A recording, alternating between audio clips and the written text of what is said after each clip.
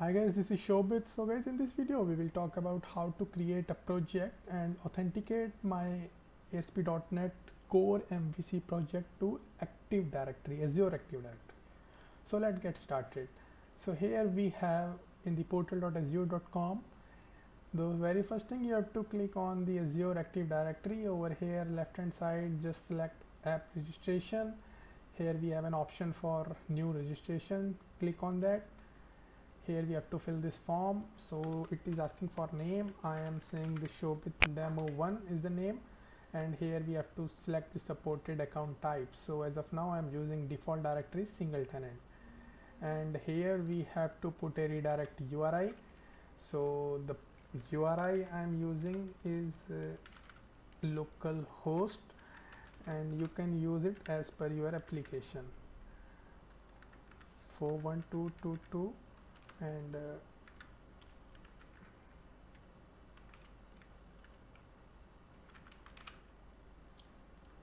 so this is the URI I am using. And you just need to click on register. So once everything is fine you can see over here we have a client ID tenant ID redirect URI is still there. And uh, you just need to click on the authentication option over here. And here in the bottom we have an option for ID token. Just select on that and click on save. It's saved. Now I just need to copy this field so I have to go for the client ID just copy it put it on my notepad so that I can use in my MVC application. And uh, this is the tenant ID tenant ID is same. And uh, we have a redirect URI so I just want to copy it so that we can further use it in my application. So this part is done. Now go back to the Visual Studio. Over here we have to create a new MVC project. So I will select MVC and .NET Core MVC project. Click on that. Next. You can give any name. So I'm saying Shobhit 1 click on next so after 5 or 6 seconds it will create a project. So project has been created. Here we need some NuGet packages. So for that just right click on show with one project. And here we have an option for manage NuGet package. Click on that. Here on the browse we have to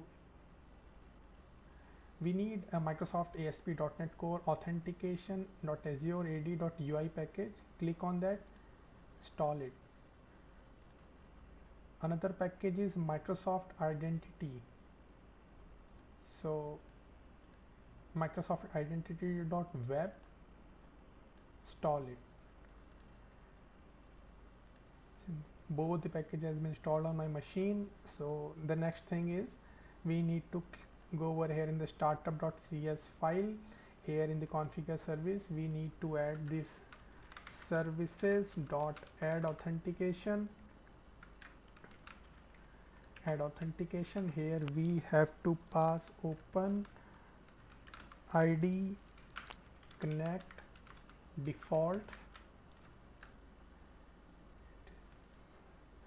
For that we need to using a namespace and here we have to specify a authentication scheme.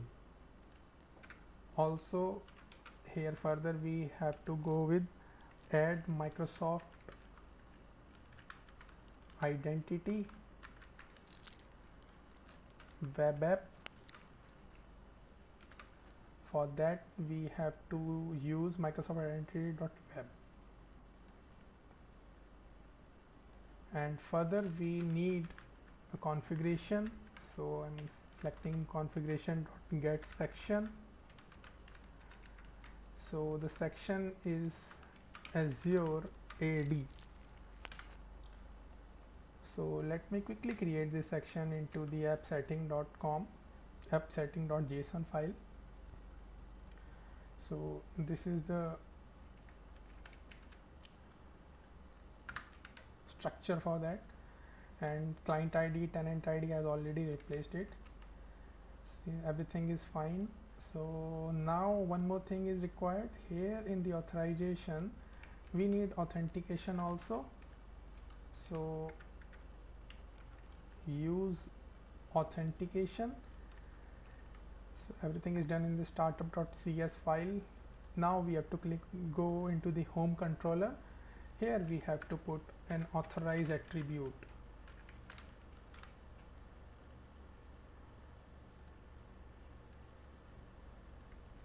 So an another thing is we need to change the redirect URI so I'm using this port 41222 let me check whether I'm using the same port or not. No I'm using different port. So let me quickly change it make sure this is https localhost this is http right? So let me quickly start it and see whether we have any error or not. If we have then we will change the redirect URI so application has been running. It is asking for the permission. I say yes.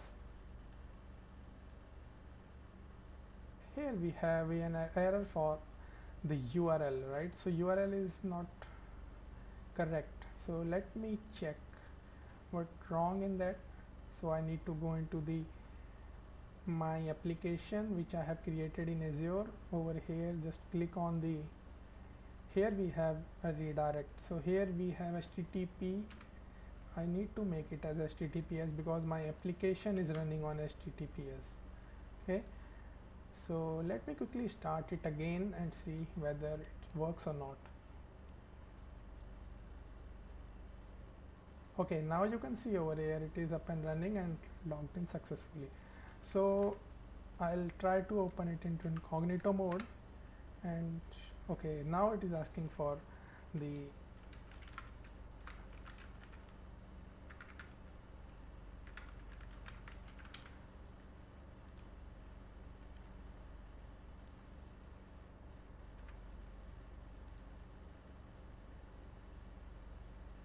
it's asking for password.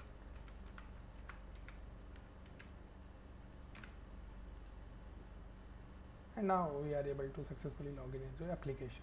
So guys that's all for this video. In this video basically we learned how we can connect our .NET Core MVC application using Azure Active Directory. If you have any question you can email me or you can put comment on my videos. So guys if you like my video please subscribe my channel. Thank you